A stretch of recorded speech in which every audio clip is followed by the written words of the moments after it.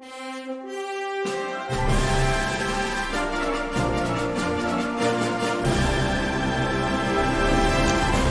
迎回到节目的现场。我想呢，在公共工程，我刚刚跟大家讲到，其实现在有一些聪明钱啊，已经从这个应该说从这个电力股里面有些撤出来，当然有一些不会撤了，就是像你看这一次，老实说，我认为中心电，我想是少数的电力股里面算比较便宜。他们可能最近呢，可能反而是前一波卖在高点的人，现在看到中心电站稳了一百元之后，又回来买，会有这种情况。那当然呢，这种比较喜欢买中低价位的股票，我想呢，我们跟大家讲到，就是这些公共工程股啊，可以当做纯股的一种，因为其实当时在做。这个所谓的重电四君子的时候，我也是建议大家当纯股，你去买市电，你去买中心电，你去把这个华晨买起来，当做忘记了哦。如果你忘记到现在还没出的话，哇，你赚翻了，对不对？二零一九到现在，你二零一九年去买台积电，到现在你没赚那么多了。二零一九年台积电两百多块，对不对？现在你说快六百了，两三倍。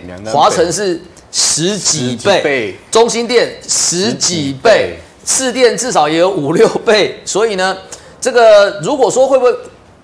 这个重演这样的情况，这我不晓得。不过也没有，也应该也没有错，在于说公共工程是最近以来最主要的课题之一啊。你去看到，我们就讲这几档股票就好。如果你选中低价的，像建国工程嘛，它的净值是十四点九九啊，这个亿我不小心打进去的是十四点九九，不是亿了哦。这个未完工程有两百八十亿，这三年政府标它标了没有多少，是四七点六。不过它主要是在做厂办。做这个公共工程啦，住宅只剩一点点，因为住宅你会担心说，这个如果说卖不好的话，会有这样问题，所以他们现在降低住宅比降低很多，而且这一家公司啊，过去呢石门水库、增文水库、工建国工程者，哎，所以能够做到这么大的工程，这是一个非常老牌的营造厂，这个比我爸爸的这个一九八二年早成立很多，因为我没有记错的话，我记得我出生的时候。这个石门水库跟周水已经建好了，所以工呢？对，早就建好了，所以这更早之前，这是超级老牌的大营造厂。然后呢，而且这为什么要讲这张股票？是因为它导入的是一个先进的科技，包括智慧科技跟先进工法，一个所谓的铝模铝模工法了。好了，也在两岸取得三十六项专利，而且连续二十二年配发配发股利，一共呢配了二四点一四元，现在股价十七块多。它光这二十几年配了二十四块钱，表示说它是一个非常稳健。你看嘛，二十二去除以二十四点一四的话，几张差不多破几扣了，对不对？所以就算你现在股价来算的话，它殖利率应该是远超过百分之五，这就是其中一档。第二档呢，其实这公公司我们讲过，其实我以前跟大家讲德昌的时候都二十几块，它今年一度涨到八八九十块，哦，涨得非常夸张，因为今年获利非常好。而且我要跟大家讲的是，它不会只有今年获利非常好。他接下来获利都会非常好，因为他手上的案子啊，标案多到爆炸了。怎么多到爆炸法？这家公司哦，前九月的新接案超过一百亿。然后呢，目前为止我们这边有一个数字给大家看，对，它的股本是里面最小的，它股本只有十一点三亿，但是它的未完成的工程是四百七十三亿。那这个有这个分析是分析说，用它的营收来算的话，它未来三年一件工程都不用标。他也能够活得好好的啦，哎，真的是真的是很厉害嘛，对不对？四百七十三亿，对啊，而且他做什么东西？投资朋友，他叫做军，他是军工股啊。我今天讲这个，给那个王王博都说笑都笑死，说哎，这军工股有没有做军工股？真的是有哎，他做空军 P 零零三统包工程，这是一个这个清泉岗机场的抗炸机库，也就是说这个机库啊，它可能是。空还是那个磅数比较多啊，或怎么样？就是炸弹炸下去的话，不会把它炸开来。它做抗战抗炸基础，所以你去选择这个做无人机的这个雷虎，还是要选择做德昌，这个你自己去选择。这我无法去跟你讲什么。但是当然成交量比较小一点，可是你要知道，现在股价在七十多一点吧。但是我认为这哪一天到一百块，这都说不定的，这很难讲。那另外一档呢，是我们有讲过的，像是润红啊，其实润红也更厉害。润红几乎每年获利都十块钱，而且他很愿意配息给你。这边大家也跟大家讲到过，对不对？它这三年平均每年配了九点七三元的股息，也就是说它的殖利率比德昌还要更高。德昌大约百分之五到六以上，润红大概百分之十哦。那所以如果在这个应该说，如果你在这个操作上面的话，你可以应该说个搭配啦。你就比如说工信搭配搭配搭配这个搭配这个建国建国搭配润红，我想润红搭配德昌都 OK 的。那润红厉害在哪里？润红本身啊。它的总研发长叫做银眼良，不过我帮大家查过了，年报上查不到这个这个职位啊，就是类似它类似它可能就是在里面，它就因为很多的专利都是专利都是他的，所以他开会他他开会都去哦，开会都去哦。然后呢，它的主攻是叫复合预铸工法，也就是说，它像它的建厂房像堆积木一样，我旁边已经堆好，直接把它堆进去就好了。论论泰盖的房子风风口碑都不错了，非常好，风评都，尤其是厂办，我记得没错的话，他帮群联盖厂啊，一年多就盖好了。很厉害，因为它是预铸工法，它已经弄好旁边，然后这样堆积木板就堆完了。然后目前未完工程，它是主要的工程都是高科技厂房，所以你不用担心说，不用担心说这个这个民这个应该说换储没料不赫，但是它有盖一些换储啦，就或者是包括跟商场，就是跟润泰合作的，它大概有合作一个南港南港的案子，大概两百两百多亿，还没算在里面，这还没认列了。那它本身有六百五十项专利，然后有部分是无偿开放，我给大家贴这个东西叫做这个。一笔估金呐，这个东西它是无偿开放给大家，就是过去的钢筋的一个，应该说钢筋的条啊，它要分成五道，应该说分成五个五个钢筋把它缠在一起。因为你可能没有感觉，但是我其实我们小时候常跟我爸跑工地啊，这每个钢筋其实呢要中间的一个接点啊，每几个接点就要拿铁丝把它缠起来。那上一次在九二一倒的时候，大家发现到，因为很多接点都没有钢筋缠，所以呢它的一个结构啊。非常松散，但是润泰用什么东西？润泰它的一个应该润红的施工方法叫一笔估，它直接用机器压好，它一体成型，全部压好了，你可以省去很多的人工。不过这个应该说润润红啊，它已经把这一个应该说这个专利它开放给大家使用，对他们有关系。这个东西其实它据说是营业良发明的啦，那自己发明的，所以给大家使用。你看就不需要像我在小时候我们看到那个，哎，这个五条钢筋在那边绑绑铁丝，什么这边它有。不是说每一个接缝都要把铁丝绑起来，好像有要绑要绑四只，还是我记得没说，要绑四只还是五只铁丝就对了。所以它可以快速建厂的原因就在这里预铸嘛。对，但是这个东西其实比较贵，它结构强度啊提高一点五到两倍，但是它成本呢增加了多少？十五到二十帕而已，所以还是比较贵一点。但是它的技术就是非常非常强力。而呢润泰是润红，事实上在过去十六年配发了七十六点四元股利，它几乎每年配十块。哦，很吓人嘛。其实德昌也不错啦，德昌连续二十九年配发五十二点八元股利，德昌也不错，只是说它配稍微少一点。但是呢，润红跟润润红跟这个德昌的好处在于，它的 ROE 都是二十三趴，台积电多少趴你知道吗？嗯，在几个？哦，所以接近呢。所以我会跟同事讲，以我的看法，其实我一直都不建议大家买台积电，但是王博很喜欢叫大家买台积电。王博号称台积电战无不胜嘛，对不对？对对对，每次都赢。哦，那但是如果是以我的看法，我认为纯股。我想，不管是工信、建国、德昌，或包括我们刚刚讲的这个润红，我觉得投资我倒是都可以值得去留意啊。其实，如果说长期持有，就像李焕你刚刚讲的，那其实有的都已经快零成本了嘛。对啊，没有错啊。而且包括这个德昌，我记得几年前，现在那个博说叫我们不要讲他名字，那个博哦哦，那个叉叉博，其实顺顺心博王顺心哦，一共每当公爷名了，哎呦，你们害我了 哦，一共每当公爷名，每当公爷名。让德昌造了纯咖零成本啊！哦，他存了多少年德昌？其实很多人都知道。那我们就不多讲，因为还有别的项目。小钟今天帮我们带来的是哦，应该 Alex 啦。我们讲英文比较高高级一点。Alex 今天帮我们带来是哪一档？好，呃，我今天要讲的是叫宝达哈，宝达实业三五三七哦。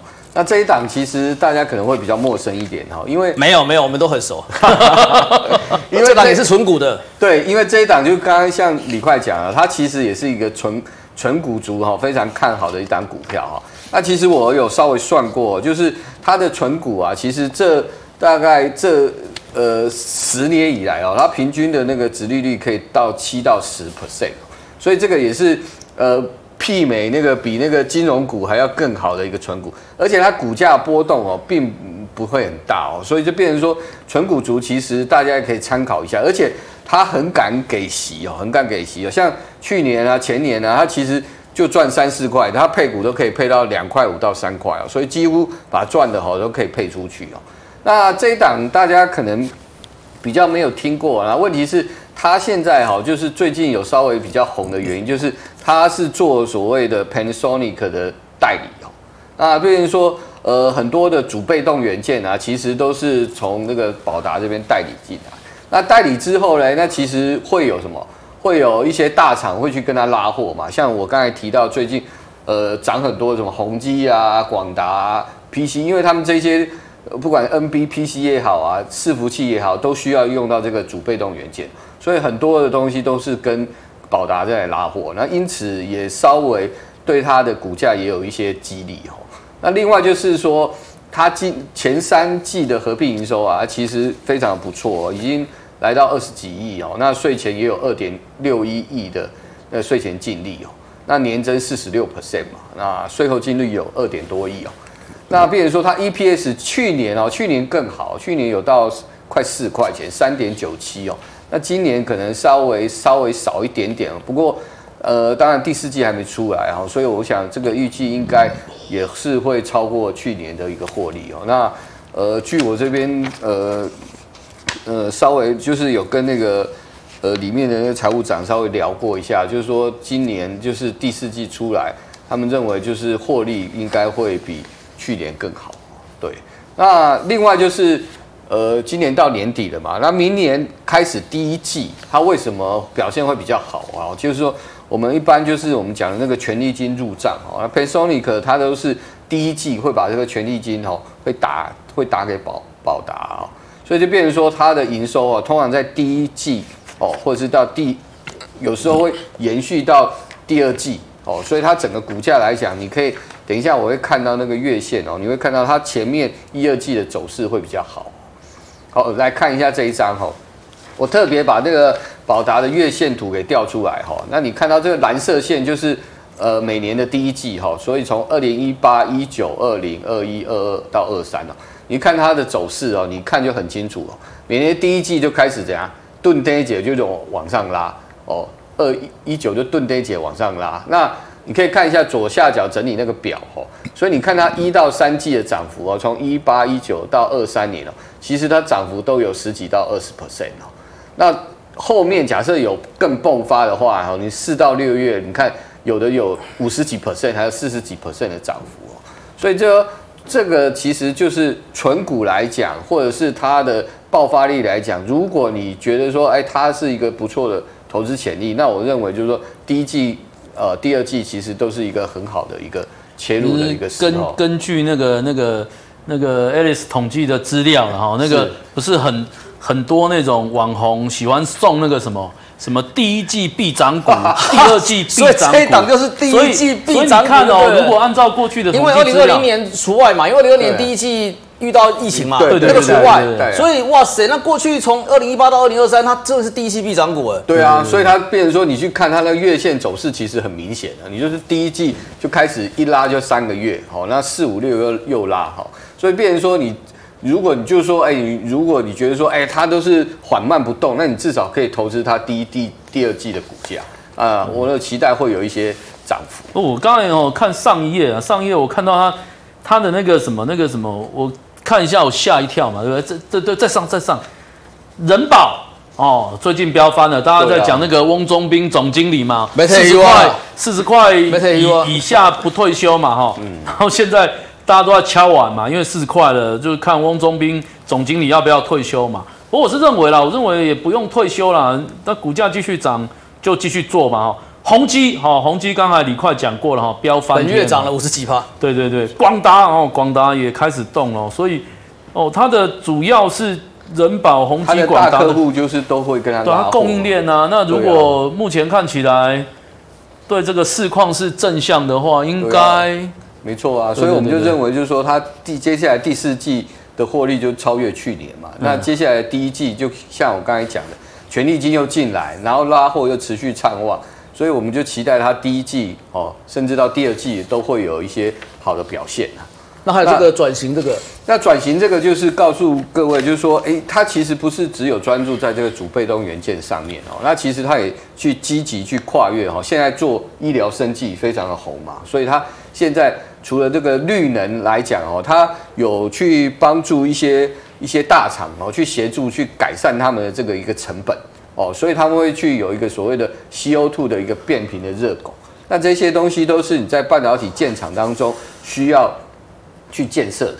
那如果你用了它的设备之后，你相对来讲整个呃供应的那个就是电的那些成本啊，这些耗能的成本啊，就会相对。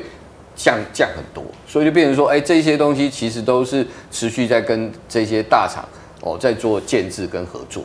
那另外一个就是它一直有在做所谓的干细胞的自动化培养的设备哈。那这个东西其实哦，呃，因为我们不是，就是说说真的啊，对这个医疗这个东西，个人不是说那么深入了解哈。不过我们要了解到，就是说它这个自动培养跟我们过去用手动培养的那种情况是不一样。它现在是整批可以大量出的哦，所以它只要做好一个设定之后，那整批的大量出货，而且它是怎样？它会把这些设备做到自动化。那变成说你在后续你在扩增它的这个量能的时候，会比以前那个快速很多哦。所以它只要做成一两样的产品之后啊，啊整个整个来讲哦，那当然它也是希望就是说，哎，以它的这个技术哦，那未来呃去要加以我们那个国家的那个生计的一个团队哈。所以变成说整个来讲，它有慢慢的往这边转型。那刚开始可能就是那个。呃，它比例啊，慢慢的从十趴、二十趴缓慢提高啊。那我们是也期望就是说，呃，上半年可能是借由它，呃，前面这些主被动元件这些拉货哦涨一波。那下半年我们期望它在跨组这些呃绿能啊、生技医疗产品哦，希望它有什么呀？后面有更好的一个发展这样子。好了，我想其实这个很有意思啊。其实这个我看到这个报道时候，我想到其实今年有一些公司，其实其实说真的，它大范围叫什么？它是做通路的，对不对？对，IC 通路。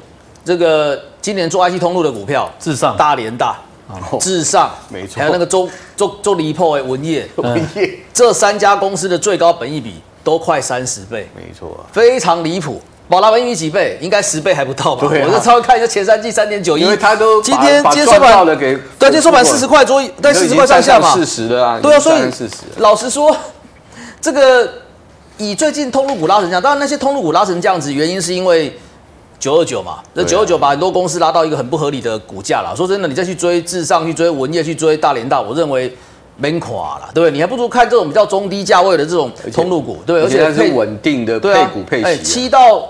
七到十趴的这个殖利率，说跟说真的，跟我刚刚讲那个什么那个润红差不多。润润红是每年十趴啦，刚刚只差那润红啊这几润红几几几几八一百一十五啦，这个一支大概四十块而已嘛。丢啊丢啊。对，所以我想，当然这些布局上面的差别，请大家去做一个参考。因为其实老实说，这个小众真的是很少看我们顶尖对谈。宝达老姜很喜欢，老姜超爱宝达，而且老姜每次都告诉大家，就是放着放着，买着放着，绝对忘记了，对比你比你存金融股好太多太多倍，不要说跟金融股差不多，金融股没那么好啦，拜托金融股超级烂的好不好？所以。这个你看到它是赚多少？得罪多少人啊！哎，很多很多股民是纯金融啦，金融股赚三元配一块五啦。对，而且是赚三四块，都拿三四块，他全部拿出来配，他几乎配到九成八成以上。所以，对啊，当然，为什么老姜喜欢这张股票？我想不是没有原因。而且刚刚我们提到的，因为现在通路股的已经水涨船高了，而且它这个主被动元件要供应给这些，哎，以前大家都看不起人保，对不对？洪忠斌讲四十块，你觉得？啊，我调你的，我调你嘞，结果人家已经真的看到了。以前你也看不起英业达，英业达今年二月份、三月份法说说我们今年一一路成长的时候，那时候股价多少？三十块。哎呦，超扯的是华泰嘛，那个华泰那个大家也是没有想到说华泰六十几块，每个人都在讲。我今天猛然一看，剩五十四。不过五十四也很厉害了，我印象中华泰都个位数了，对，好不好？那就回到这个最后一点时间，就是王博这档股票，王博的老朋友，老朋友哈，对。啊，红杰克啦，红杰克，红杰克不是黑杰克，是红杰克啊，红杰克。那这档黑杰克死了，死了，就是专栏作家过世了，哦，真的哦，哎，过世好几年了，哦，好了，那大家不认识他，我也不认识他，平安健康，不好意思了，大家平安健康，新年快乐哈。好，这个红杰克哦，其实我是觉得啦，因为我最近有看了一些。法人的报告嘛，然后大摩大摩是非常看好它，而且大摩把它的目标价看到一百八了哈，那会不会到？当然要由市场来决定了哈。不过大摩里面也写得很清楚，说哎，主要什么？主要就是那个所谓 PA 的那个复苏。那 PA 的复苏当然跟啊，包括像手机啦，或者是相关的那个那个装置的那个成长有关嘛。所以我个人认为啦，哦，这档股票大家也可以留意的哈。那当然，你也可以去找文茂，也可以去找全新。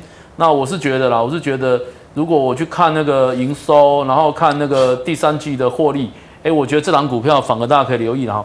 那它当然是台湾的那个 PA 的那个领导厂商。那这档股票现在中美已经是最大的股东哦，中美已经是最大的股东了哈。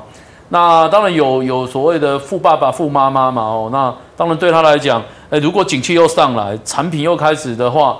那当然对他来讲，就那个营收获利就水涨船高嘛哈。那主要的产品就是 PA 啦，然后 WiFi 六跟 WiFi 六一啦。那他的客户有谁？好，有 Skyward 哈，有那个 Microchip，有那个三星，然后还有那个利基啦，哈，因为利基最投机的利基，不要说最投机，人家 WiFi Seven，WiFi Seven，我人家借解山前三季赔钱呢，这股价变涨翻了，飙翻天了嘛，对不对？哈，那所以我觉得这些啦，这些相关的那个产品的话，当然手机就不用讲，因为智慧型手机从那个所谓四 G 到五 G，其实用的 PA 的量就是一倍嘛。对。那现在五 G 渗透率是大幅的拉高嘛，因为你也是用五 G 吧？对啊，我也是用五 G 嘛。对啊，现在就是大家都用五 G，连老姜都用五 G，连老姜都用五 G。他一直在讲，他把那个他的那台手机说要换的，要比你那个换的换的换的 iPhone 更高档，比我便宜啊，我比较贵，好不好？我的哎，我买很贵，我买我我买五一二 G 的啊，你买五一二 G 的比较贵。我买我我是买五万多块吗？他没有，反正他就走进去说，把你们那个最贵的 Enjoy 就拿一个三星 Ultra 出来给他。你块是 iPhone。Pro Max 是不是？对，Pro Max，然后五一二 G 啦，对啊，那因因为你是有在拍照啊，所以你那个录影拍照，你那个当然要要记忆体要大一点哈。那那我是觉得啦，我是觉得就是说，其实当整个一个产业上来之后，然后然后那个用量用量，因为五 G 现在渗透率一直拉高嘛，那那那那个用量越来越大，其实 PA 这一块已经已经什么已经开始就往上了。然后现在什么？现在就是 WiFi 六、WiFi 六一，然后要往 WiFi seven 嘛。那当然有一些 WiFi seven 的题材就会出来，好，WiFi seven 起来是吧？然后它就是什么？就跟客户合作，要加速 WiFi seven 的那个研发与布局啦。啊。所以我认为啦，我认为其实这些相关的那个厂商啦，哈，特别是零组件的，通常怎么？通常涨起来的时候都很都很快乐啦。对。哦，那通常跌起来的时候也很快乐了哈。那当然，我认为现在趋势是往上，哈，趋势往上，这档股票大家就可以留意了。嘿，好，我想今天大概跟大家谈到这里，但下一次见面已经是过完年后了，所以先预祝大家新年快乐。而且我们提供，其实今天老实说，哎，我跟 Alice 所提供的这是比较适合存股，然后呢，这个投机吗？的不能说投机，对不对？配合着明年的手机复苏，大家不要忘记，明年除了 AI PC 之外，大家都忘记了，其实是 AI AI Phone。AI，现在联发科还有现在高通已经都有 AI phone 的晶片哦。联发科是天玑九千三、八千三，高通是这个骁龙八这个第三代哦，GN 三。所以这部分呢，其实在明年呢，事实上当然明年会不会苹果也有把它的手机导入生成式 AI？我觉得可能性是非常非常高。苹果的特色是我不要第一个推，但是我看你们推了之后，我也要推。对，所以折叠好像也要出。对，折叠看起来是要出。不过今天很有意思，今天传出一个消息说。这个华为大砍三成的折叠手机的一个订单，不过我已经帮大家确认过了，假的，假的啦，哈，假的。但是呢，就是有人想要把兆利啦、把富士达的股价灌下来，把新兴股价灌下来。那我觉得拉回来是找买点了。当然，我想首选可能还是。富士达嘛，因为富士达折叠最厉害，我是听王波讲的，是不是？对对对对对，最折叠最厉害。那他可是当初富士达的报告是你拿给我的，我们是看 看我们是看元大报告的。然后呢，这个新日新其实是 notebook 的轴承占比第一名，它的市占率百分之三十八。所以哪一家公司说它轴承市占率超过百分之三十八的都不可能，因为新日新第一名，第一名。那当然，等到苹果要推折叠手机的话，它最有可能合作对象。不是兆利，不是富士达，是新日新。可能对，所以当然，投资我可以了解到，当然这个应该说岁末年终，很多公司冒出一堆有的没有的这利空，有些人是想要利用低档来吃货啦。前几天那个旗宏的利空，结果你看到旗宏今天股价收盘，没有记错的话，十二月的最高点，对不对？所以当然你要少一些真正方向对的，那你退而求其次，对不对？我们刚刚跟大家讲，聪明钱在买什么？在买公共工程股，对不对？那你再退而求其次，哎，安全的像类似像宝达这种，再退而求其次。这推我反正推到最后就是空间空间科嘛，对不对？好不好？那我想今天的这个节目到这边，祝大家好顺利，拜拜拜拜拜拜。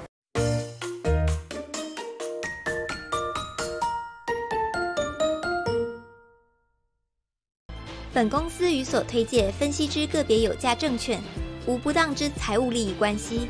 本节目资料仅供参考，投资人应独立判断、审慎评估，并自负投资风险。